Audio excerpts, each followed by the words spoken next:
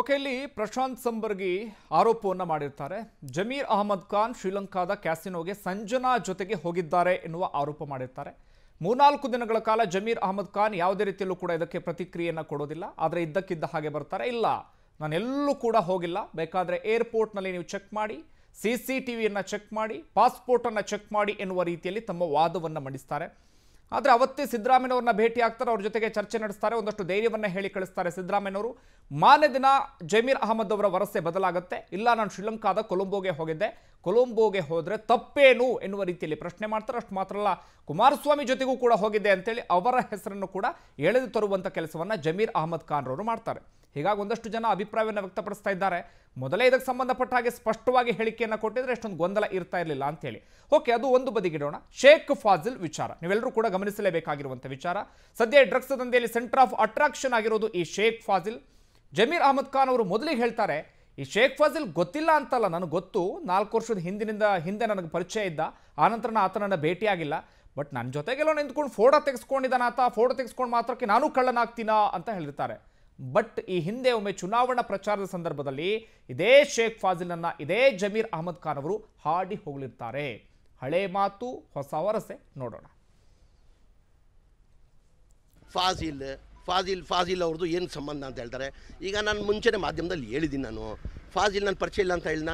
ನಾಲ್ಕು ವರ್ಷ ಹಿಂದೆ ಪರಿಚಯ ಇದ್ದ ನಂತ ಬರೋನು, ಹೋಗೋನು. ನೆನ್ನೆ ನಮ್ಮ ನಾಯಕರು ಸಿದ್ದರಾಮಯ್ಯ ಏನಂದ್ರು, ಯಾರೋ ಒಬ್ಬ ಕಳ್ಳ ಪಕ್ಕದಲ್ಲಿ ನಿಂತ್ಕೊಂಡು ಫೋಟೋ ತೊಗೊಂಡ ತಕ್ಷಣ ಅವ್ನು ನಾನು ಕಳ್ಳ ಆಗ್ತೀನ ಫೋಟೋ ನೀವು ತಗೊಂಡ ತಕ್ಷಣ ನಾವು ಅದಕ್ಕೆ ಇನ್ವಾಲ್ವ್ಮೆಂಟಾ ನೀವು ಹೇಳಿ ಎಷ್ಟು ಜನ ತಾವು ಫೋಟೋ ತೊಗೊಳ್ಳಲ್ಲ ನಾವು ನೀವು ಮಾಧ್ಯಮದವ್ರು ಯಾರು ತಾವು ಫೋಟೋ ತೊಗೊಳ್ಳಲ್ಲ ಯಾರೋ ಬಂದು ಅಭಿಮಾನಕ್ಕೋಸ್ಕರ ನಿಂತವ ಸರ್ ಒಂದು ಫೋಟೋ ಹಿಡಿಬೇಕು ಸರ್ ಅಂದರೆ ಫೋಟೋ ಹಿಡ್ಕೊಂಡು ಅವ್ನು ತಪ್ಪು ಮಾಡಿದ್ರೆ ಆ ತಪ್ಪು ನಮ್ದ ಈಗ ತನಿಖೆ ನಡೀತಾ ಇದೆ ತಪ್ಪಾದ್ರೆ ನನ್ನ ಶಿಕ್ಷೆ ಅನ್ಲ- ಅನುಭವಿಸ್ಲೇಬೇಕು ತಾನೆ ये सब मेरे दोस्तों आने की वजह जो दादा हमारे जितने भी दोस्त आए आने की वजह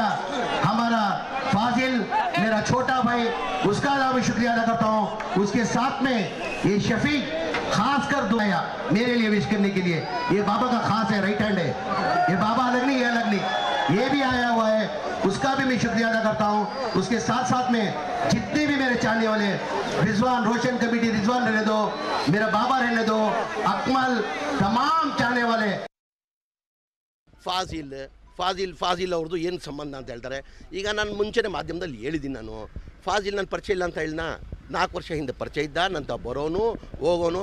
ನೆನ್ನೆ ನಮ್ಮ ನಾಯಕರು ಸಿದ್ದರಾಮಯ್ಯ ಏನಂದ್ರು ಯಾರೋ ಒಬ್ಬ ಕಳ್ಳ ಪಕ್ಕದಲ್ಲಿ ನಿಂತ್ಕೊಂಡು ಫೋಟೋ ತೊಗೊಂಡ ತಕ್ಷಣ ಅವ್ನು ನಾನು ಕಳ್ಳ ಹಾಕ್ತೀನಾ ಫೋಟೋ ನೀವು ತಗೊಂಡ ತಕ್ಷಣ ನಾವು ಅದಕ್ಕೆ ಇನ್ವಾಲ್ವ್ಮೆಂಟಾ ನೀವು ಹೇಳಿ. ಎಷ್ಟು ಜನ ಫೋಟೋ ತೊಗೊಳ್ಳಲ್ಲ ನಾವು? ನೀವು ಮಾಧ್ಯಮದವ್ರು ಯಾರು ತಾವು ಫೋಟೋ ತೊಗೊಳ್ಳಲ್ಲ ಯಾರೋ ಬಂದು ಸರ್ ನಿಂತವ ಸರ್, ಒಂದು ಫೋಟೋ ಹಿಡಿಬೇಕು ಸರ್ ಅಂದರೆ ಫೋಟೋ ಹಿಡ್ಕೊಂಡು ಅವ್ನು ತಪ್ಪು ಮಾಡಿದ್ರೆ, ಆ ತಪ್ಪು ನಮ್ದ? ಈಗ ತನಿಖೆ ನಡೀತಾ ಇದೆ. ತಪ್ಪಾದರೆ ನನ್ನ ಶಿಕ್ಷಣ ಅನುಭವಿಸ್ಲೇಬೇಕು ತಾನೆ.